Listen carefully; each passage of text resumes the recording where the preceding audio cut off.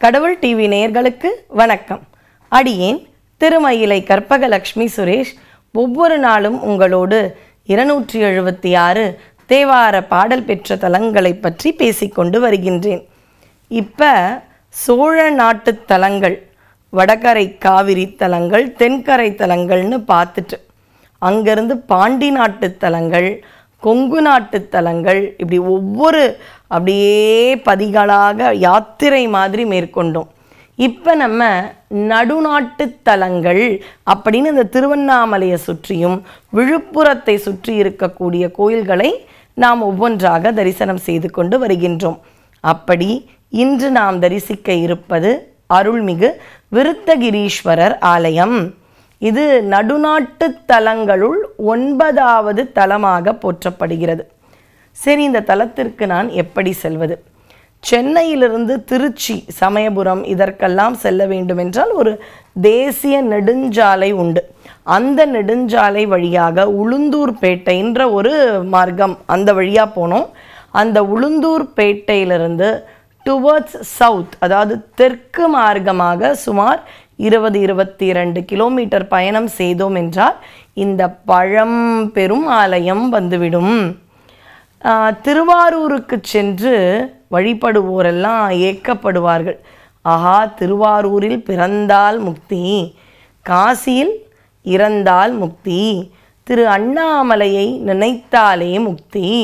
இப்படி ஒவ்வொரு இது அதே மாதிரி சிதம்பரத்தை தரிசனம் செய்தால் முக்தி. காளஹஸ்திக்கு அந்த பதிக்குள்ளே அந்த ஊருக்குள்ளே சென்றாலே முக்தி. இப்படி ஒவ்வொரு தலங்களுக்கு அதனுடைய மகாத்மியம் அதனுடைய பெருமைகளை கொண்டு ஒவ்வொரு வகையாக சொல்வார்கள். இந்த விருத்தகிரீஸ்வரருக்கு என்ன ஒரு அழகுனா இந்த அஞ்சில் ஏதாவது ஒன்று பண்ணால் போதும் பிறந்தால் ஓகே இல்லைப்பா அந்த பத்தி அந்த தலத்தில் போய் இறந்தாலும் ஓகே. பிறக்கிறதும் இறக்கிறதும் நம்ம கையில் கிடையாது இல்லையா? கடவுள்கிட்ட தான் இருக்குது ஆனால் நினைக்க முடியும் தரிசிக்க முடியுமாச்சே? வாழ்ந்தாலும் முக்தி. சரி வாழ்வது முடியுமா? நமக்கு எங்கே பணியோ வேலையோ?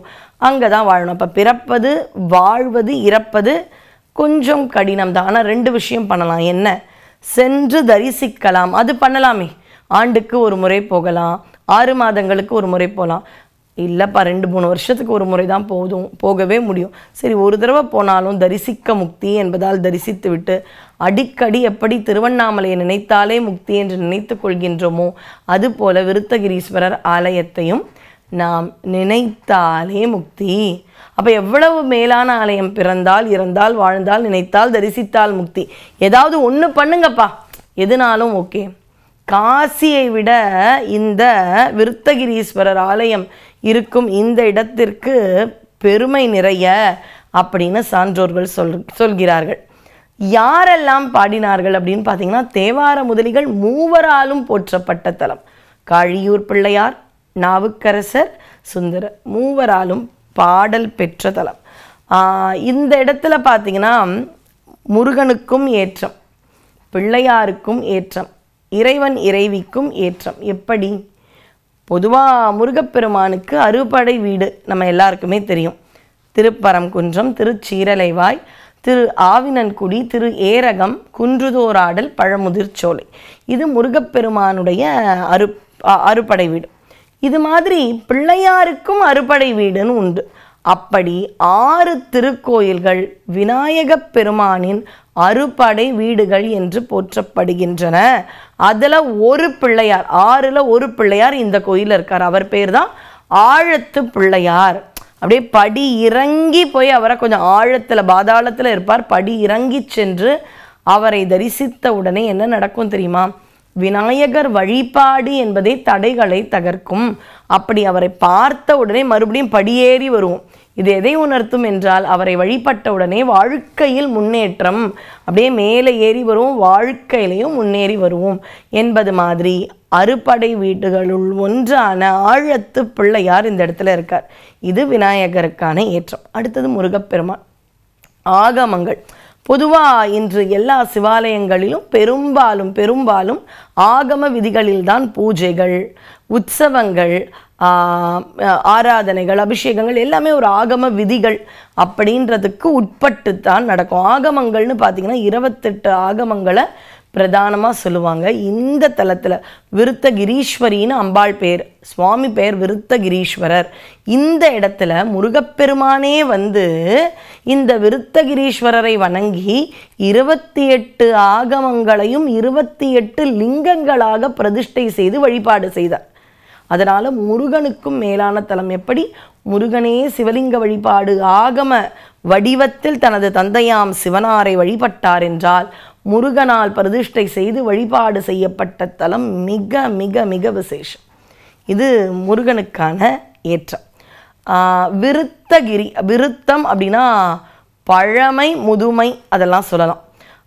கிரி என்றால் மலை. விருத்தகிரினா பழமையான மலை. அதனால் இந்த சுவாமிக்கு பேர் பழமலைநாதர் அப்படின்ற பேரும் உண்டு. திரு முதுகுன்றம் அப்படின்ற ஒரு பேரும் உண்டு. ஊருக்கு அஞ்சு பேர்.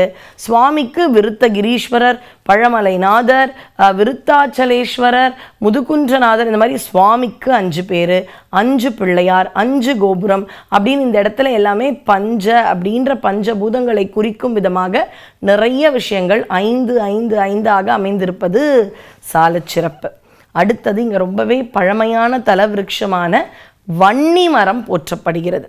நிறைவாக இறைவனுக்கு ஏற்றம் இறைவனுடைய மகன்களாக போற்றப்படும் பிள்ளையாருக்கு ஏற்றம் முருகனுக்கு ஏற்றம்.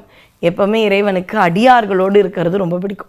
அப்படி அடியார்களுக்கும் ஏற்றம் என்றால் இந்த தலம். எப்படி? சுந்தரர் தனக்கு பொன் வேண்டும் பறவைநாச்சியார் கேட்குறாங்களாம் இதை பாருங்க திருவாரூர் உற்சவம் வரப்போகுது. வர அடியார்களுக்கெல்லாம் நான் உணவு கொடுக்கணும். எனக்கு அதுக்கு காசு வேணும் பணம் வேணும். அப்படின்ற போது இந்த விருத்தகிரீஸ்வரர் திருமுதுகுன்றம் என்ற இந்த தலத்தில் நம்முடைய சுந்தரர் பாடுகின்றார் பன்னெண்டாயிரம் பொற்காசுகளை இறைவன் கொடுக்குறார். கொடுத்துட்ட உடனே இவர் கேட்குறாரு எனக்கு இதை கொடுத்துட்டீங்களே இங்கேருந்து நான் திருவாரூர் போகணும். வழிப்பறி கொள்ளையில் மாட்டின்டா. அதனால் நீங்களே அங்கே எடுத்துன்னு வந்து கொடுத்துருங்க. ஏன்பா ஒரு தடவை நீ குண்டையூர் அந்த ஒரு கிழார் கொடுக்குற அரிசி மாதிரி என்கிட்ட வந்து கேட்டேன். கோழிலின்ற தளத்தில் அரிசி கொடுத்தேன். அதையும் மாற்றி தரதுக்கு டிரான்ஸ்போர்ட் கேட்டேன். இப்போ காசு கேட்டால் இதையும் ட்ரான்ஸ்ஃபர் பண்ணி கொடுன்னு கேட்குறியே இன்றைக்கெலாம் பார்த்தீங்கன்னா நிறைய பணத்தோடு நம்ம ஊர்களுக்கெலாம் செல்ல வேணாம். ஆனால் அந்த காலத்தில் நிறைய பணத்தோடு தான் ஊர் ஊராக நம்ம போகணும். அந்த பணம் தீந்துடுச்சுன்னா என்ன பண்ணுறது பத்து நாள் பிரயாணம் இருபது நாள் பிரயாணம்னா இருக்கிற காசை வச்சு தான் நம்ம வாழணும். அப்படி தானேங்க நம்ம அம்மா அப்பா முன்னோர்கள் வாழ்ந்தாங்க. ஆனால் இன்றைக்கி நமக்கு பிரச்சனை இல்லை. எங்கே போனாலும் ஏடிஎம் தேவைன்னா கூகுள் பே ஃபோன்பே இப்படி நிறைய ஆன்லைன் ஃபெசிலிட்டிஸ் இருக்குது அப்படி முதல் முதல்ல சிவபெருமானை ஃபண்ட் ட்ரான்ஸ்ஃபர் பண்ண வச்சது யாருன்னா சுந்தரர் எனக்கு எடுத்துன்னு போகிறதுக்கு பயமாக இருக்குது அதனால் நீங்கள் எனக்கு அமௌண்ட் அங்கே கொடுத்துருங்க அப்படின்னு கேட்குறாரு உடனே இறைவன் சொல்கிறாரு அங்கே ஒரு ஆறு ஓடுது. அதுக்கு பேர் மணிமுத்தாறு. சரி அந்த மணிமுத்தாறில் போட்டுடு உன்னுடைய குளத்துக்கு வரும். இவருக்கு பகீர்னு ஆயிடுச்சு. ஏன்பா ஆற்றுல போட்டாலே பணம் கிடைக்கிறது கஷ்டம். சரி ஆற்றுல போட்டது ஆற்றுல கிடைச்சா கூட ஒரு லாஜிக் இருக்குது ஆறு எல்லா இடத்துக்கும் வரும்.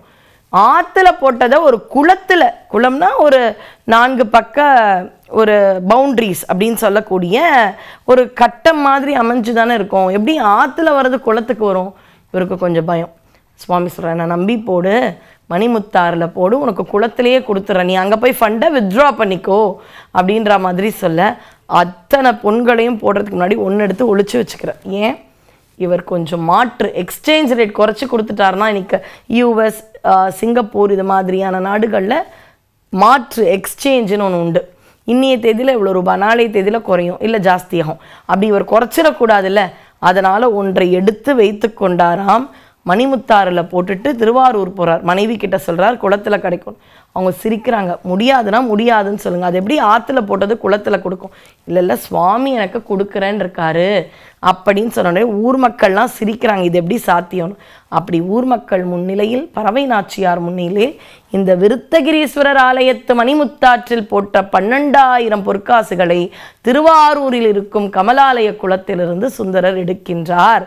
எடுத்த உடனே இதுவும் அதுவும் ஒரே காசா? இல்லை சாமி கொஞ்சம் குறைச்சிட்டாரா? அப்படின்னு பார்க்கும் பொழுது அங்கே பிள்ளையார் வராரு. பொற்கொல்லராக இல்லைப்பா எல்லாம் சரியாக தான் இருக்குது அவர் எதுவும் குறைக்கலன்னு சொல்கிறார் அதனால் அந்த பிள்ளையார் பேர் மாற்றுரைத்த பிள்ளையார் மாற்றுனா எக்ஸ்சேஞ்ச் அதை உரைத்த பிள்ளையாருன்றது பேர். இப்படி மிக மிக மிக மிக உன்னதமான தலம். எப்படி சுந்தரரது பணப்பிரச்சனை செல்வ வளத்தை அவர் கொடுத்தாரோ பணப்பிரச்சனையை போக்கி அதுபோல உங்களுக்கு பணத்தால் ஏதாவது பிரச்சனையா? கடன் பிரச்சனையா? செல்வ வளம் இல்லைன்னு ரொம்ப வருத்தமான ஒரு வறுமையான நிலையில் இருக்கீங்களா? நீங்கள் வர வேண்டியது பழமையான தலம் பழமலைநாதர் திரு முதுக்குன்றம் விருத்தகிரீஸ்வரர். இந்த அற்புத கஷேத்திரம் காசிக்கும் மேலான தலம். இந்த தலத்திற்கு வாருங்கள். விருத்தகிரீஸ்வரர் நம்முடைய பழமலைநாதரின் அருளால் செல்வ வளம் பெருகி நல்லதொரு வாழ்க்கையை வாழுங்கள். திருச்சிற்றம்பலம். நன்றி. வணக்கம்.